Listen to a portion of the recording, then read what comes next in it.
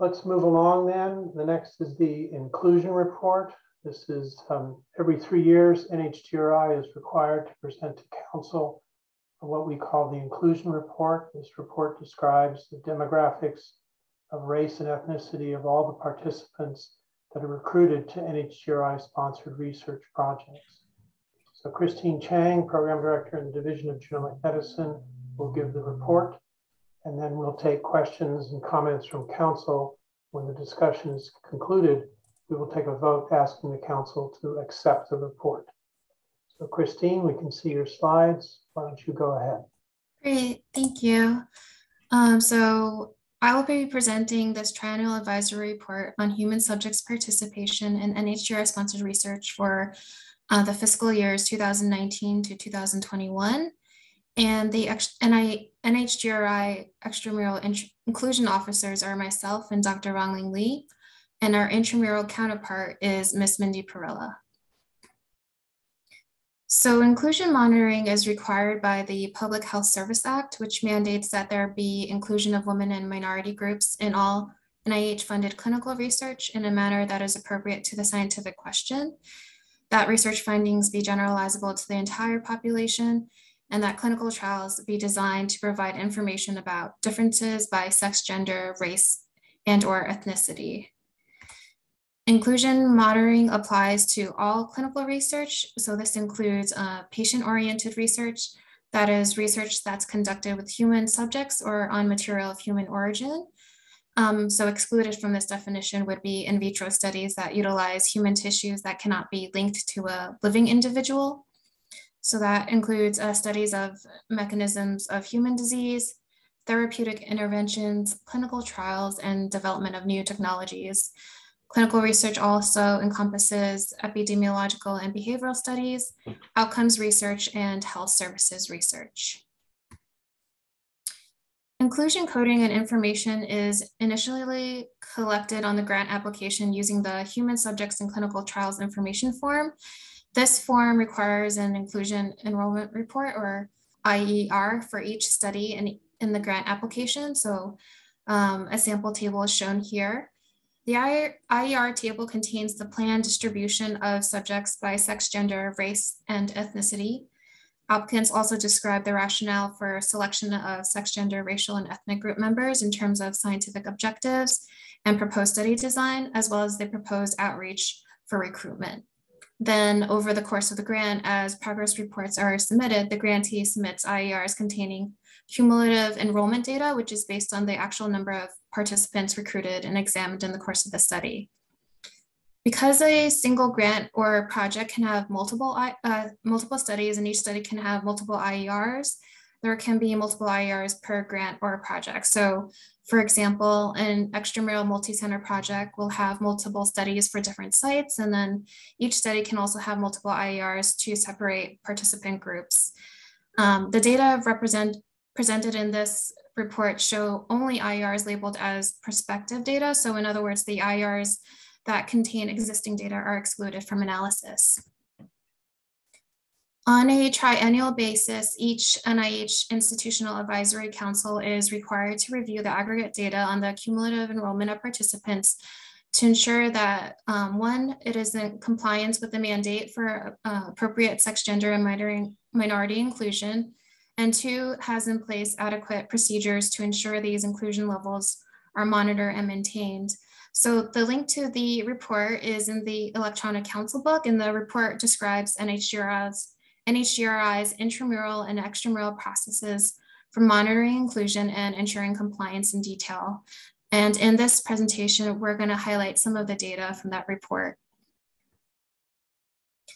Looking at the total number of IERs, about a third of them did not have enrollment because of delayed onset of recruitment or were active studies that completed enrollment in previous years, so they no longer need to recruit participants in that reporting period. Um, among the IERs with enrollment, the majority are associated with US sites, um, IERs with non-US sites included countries like Botswana, Cameroon, Ghana, just to name a few. Uh, a few studies include only female participants because of the nature of the studies. So for example, uh, pregnant women's views on prenatal sequencing. Looking at participant enrollment and the number of IRs across the reporting period, we see that extramural makes the bulk of clinical research, whereas enrollment in intramural was pretty steady across the reporting period. Uh, extramural enrollment fell markedly, and this decrease can largely be attributed to the end of the eMERGE, eMERGE 3 consortium, as well as the onset of the COVID-19 pandemic in spring of 2020, and this is consistent with many grantees reporting difficulty in recruitment and reaching target enrollment numbers. Um, even after academic research and health centers resumed business, understandably, patients were hesitant to participate in research and low recruitment rates continued. Um, NIH uses sex gender to indicate that either sex or gender may be reported for inclusion enrollment purposes. The NIH encourages investigators to design their data collection instruments in a way that allows the participants to self-identify their sex or gender in a way that is meaningful within the study's context. So overall, over the reporting period, the sex gender distribution was balanced.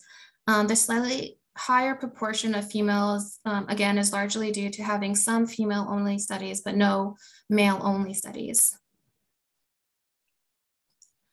Uh, race distribution is shown here using census designated race categories, which include white, black, African American, unknown not reported, Asian, more than one race, American Indian Alaska Native, and Native Hawaiian Pacific Islander. Um, when enrolling research participants, uh, researchers ask participants to self-identify both their ethnicity and their race, with the option to select more than one racial category or to decline providing race and ethnicity. So in this reporting period, there was a steady increase in Black African American participant enrollment, uh, shown here in orange. And this is due to continued efforts by NHGRI to increase the number of studies with diverse participants through programs such as the Human Heredity and Health in Africa program, or H3Africa, the Clinical Sequencing Evidence Generating Research Program, or CSER, and the Implementing Genomics in Practice uh, Consortia, or IGNITE.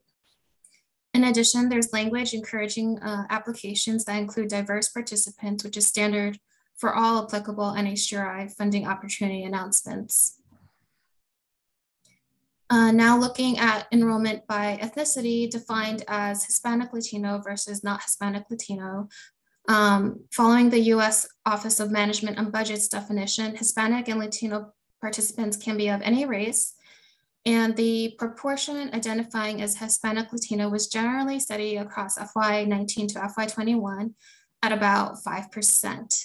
So although the goal of NIH's inclusion policy is not to endorse or enforce quotas for proportional representation based on census data, I think we will note that uh, comparisons show that Hispanic Latino enrollment at NHGRI is much lower than the US Census uh, 2021 population estimates of about 18% and lower than the overall NIH Hispanic Latino enrollment level of about 10%. And it's possible that some of the strategy used to increase enrollment of Black African American participants could be applied to increase the enrollment of Hispanic Latino participants in NHGRI studies. And similarly, uh, successful strategies for enrolling Hispanic Latino participants in studies at other NIH institutes and centers could be adapted for NHGRI studies. Uh, so taking this all together, minority enrollment in this report includes all races except white and unknown race, plus Hispanic Latino participants that already not already identified in another race category that fits the minority def definition. And in this reporting period, we see that the total proportion of minority enrollment gradually increased from 28.3% in 2019 um, up to 35.6% in 2021. And this is a modest uh, increase over the previous reporting years, um, which was 25% in 2017 and 26.6% in 2018. NIH revised its inclusion of children policy in 2017 and the revised policy, which is now called the uh, NIH Policy and Guidelines on the Inclusion of Individuals Across the Lifespan, applies to individuals of all ages and requires reporting of participant age at enrollment and annual progress reports. the policy became effective for applications submitted on or after January 25th of 2019, uh, as well as intramural studies initiated after this date. So the table shown here shows the age distribution for enrolled participants for studies falling under this policy. And it should be noted that the data should be interpreted with caution given the very low enrollment numbers overall. And the numbers are low because the policy applies only to the very small portion of studies recently funded, and most of NHGRI's research does not fall under this policy yet. So going forward at the next um, triennial reporting period, we'll have more data to analyze and better understand how NHGRI sponsored research is including participants across age categories. So in summary, uh, the deleterious effect of COVID-19 on NHGRI participant enrollment was substantial, uh, while academic research centers and other study sites quickly adapted and resumed recruitment efforts, there are residual delays and difficulty in reaching um, initial target enrollment numbers. Um, there was also successful strategies in increasing overall minority participant enrollment, but improvements are still needed in certain participant groups, most notably the Hispanic Latino uh, participant group. So with that, my colleagues and I would be happy to take questions and comments. Um, well, that was really informative and it was great to see the progress that's being made, albeit slow. Um, uh, two thoughts. One is I realize the term human subjects has legal definitions, but I would love to see us move away from the word subjects as much as possible, including in the title of these reports um, and, and certainly in the contents. Um, secondly, uh, you know, we, there's a lot of data that people on the LGBTQ um, community are underrepresented in research, and that doesn't seem to be something we're measuring. Um, and I wonder if that's something we should be measuring.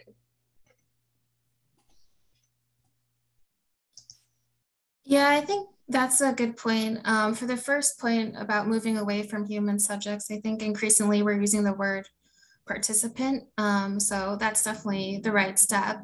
Um, for underrepresented um, LGBTQ community and like making sure that is captured in the reports, I don't think um, that has quite made it to sort of official um, official uh, census categories. Um, but that's definitely a, well a good point taken. I know that we have representation on the sexual and gender uh, minority um, working groups. I don't know if someone from that working group wants to chime in as well. This is Terry, not not on the on the um, section gender minority working group, but but Gail, just so that you know, these reports are are actually mandated centrally, so we follow a central template. But we'll certainly um, raise the issue that it would be very helpful to have information on sexual and gender minorities. Um, I suspect it's coming. It's just that it hadn't been reported in the past three years. But excellent point. Thanks. Thanks. And as additional follow-up, uh, the Office of Sexual Gender Minority is working across NIH for a better collection that will be reported on. Other, excuse me, other questions or comments from council?